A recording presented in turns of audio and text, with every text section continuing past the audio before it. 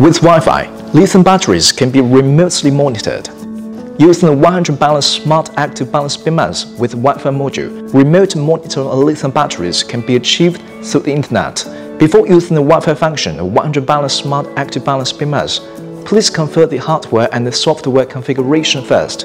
In terms of hardware, the lithium battery, the 100 balance smart active balance BMS, and Wi-Fi module are connected and working properly, and there is Wi-Fi signal near the lithium battery.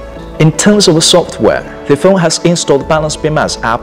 The app can be updated and downloaded in the Google and App Store, or contact 100 Balance staff to obtain the latest version of the app installation files.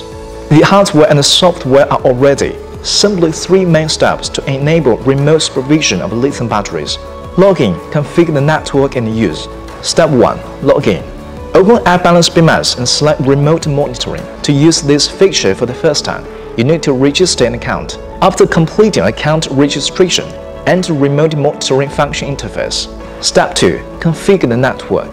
Please confirm that the phone and the lithium batteries are within the same Wi-Fi signal coverage range.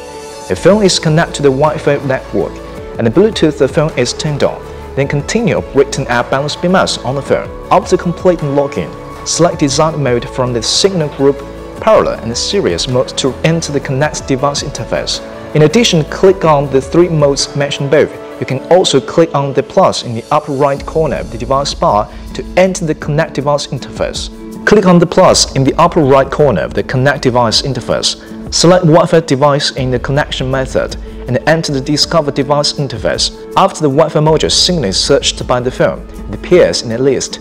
Click Next to enter the Connect Wi-Fi interface. In the Connect Wi-Fi interface, select Router, enter the Wi-Fi password, and then click Next. The Wi-Fi module will connect to the router. If the connection fails, the app will prompt that the addition failed. Please check if the Wi-Fi module, phone and the router meet the requirements and try it again. If the connection is successful, the app will prompt successfully added and then device name can be reset here. If you need to modify in the future, you can also complete it in the app. Click Save to enter the function homepage.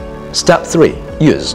After configuring the network, the lithium battery can be monitored at any time on the phone, no matter how far it is from the battery. The added devices can be seen on both the homepage and devices list interface. Click on the device you want to manage to enter its management interface, where you can view and set various parameters.